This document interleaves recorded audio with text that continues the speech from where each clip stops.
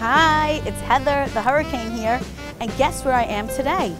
Edison, New Jersey. That's right, this is a beautiful town, easy commute to NYC, and today we're featuring my brand new co-op listing.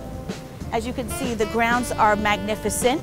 I have a one bedroom unit here that I'm about to list, and I'd love for you to come and see it. We'll be waiting.